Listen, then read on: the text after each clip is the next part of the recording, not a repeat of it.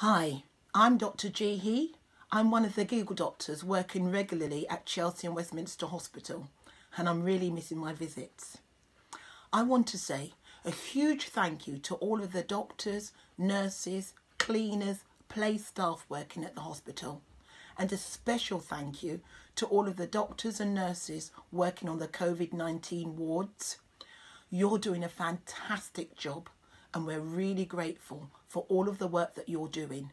We're thinking about you all the time. You're the heroes in our eyes.